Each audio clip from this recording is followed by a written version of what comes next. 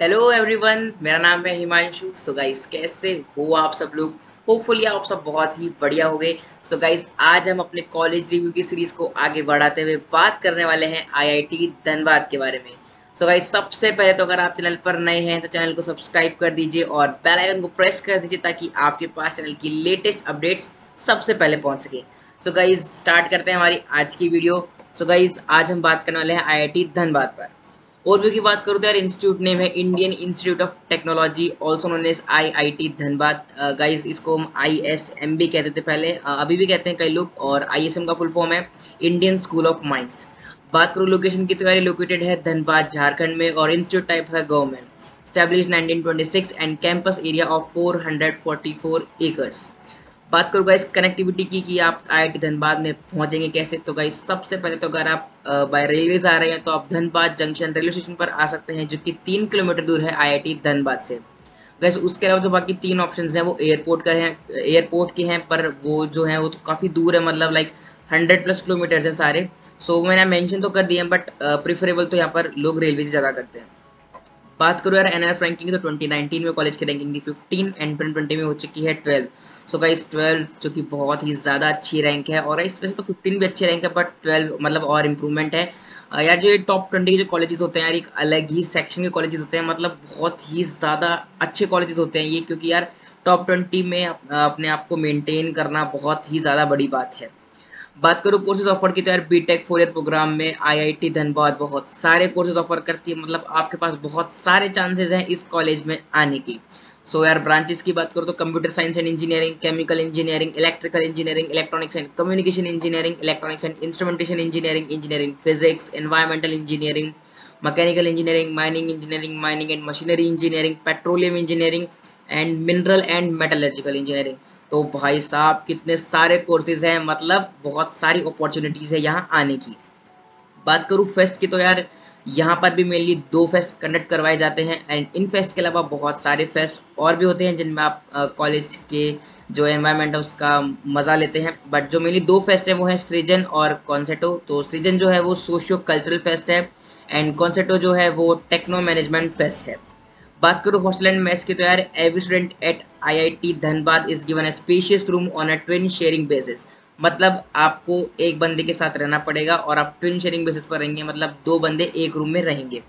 Each room comes equipped with the requisite amount of lighting and electrical ports a fan a chair a table and a cord मतलब कुछ necessary सामान आपको hostel room के अंदर ही मिल जाएगा तो आपको अपने घर से लाने की ज़रूरत नहीं है।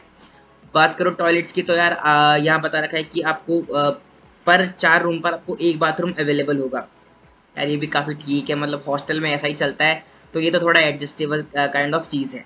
Each hostel has its own history and unique facilities but all of them have the basics that is a mess a canteen a juice centre a stationery shop a TV room and indoor sports room and laundry facilities तो guys ये काफ़ी अच्छा है यार।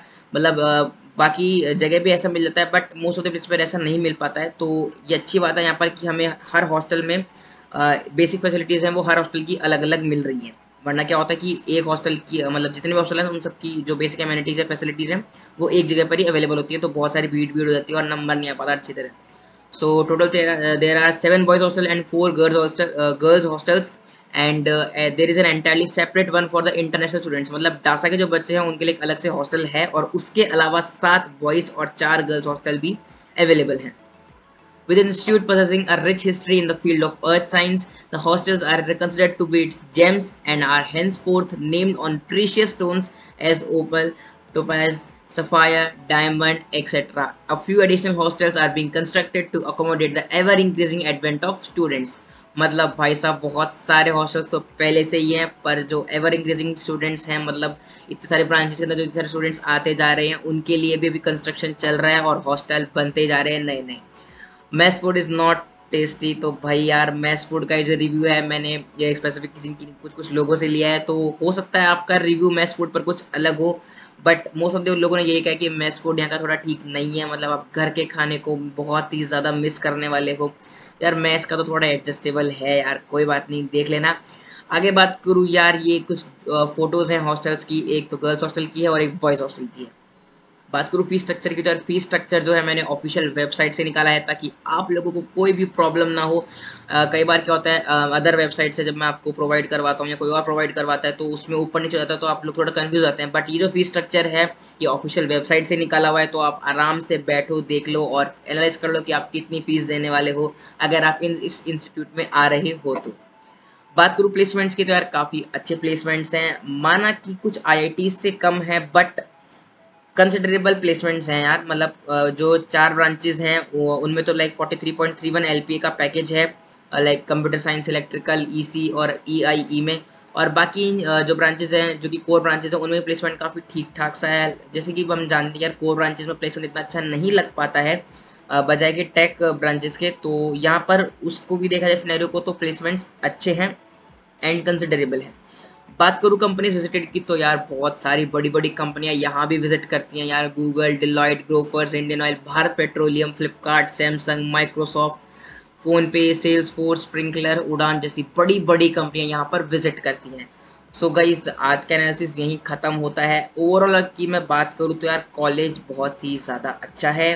पुराना है तो आपको अच्छी फैकल्टीज़ एक्सपीरियंस फैकल्टीज़ मिलने वाली हैं और अच्छे मेंटोर्स मिलने वाले हैं और आप यहाँ पर बहुत सारी नॉलेज गेन करने वाले हैं और यार आ, मतलब कुल मिला के अपनी लाइफ कॉलेज लाइफ जो है वो एंजॉय करने वाले हैं प्लेसमेंट्स एक अच्छा सा प्लेसमेंट लेकर यहाँ से निकलने वाले हैं। सो so गाइस आज की वीडियो जो है वो यहीं ख़त्म होती है। अगर वीडियो पसंद आया हो तो वीडियो को लाइक करना और दोस्तों के साथ शेयर ज़रूर करना।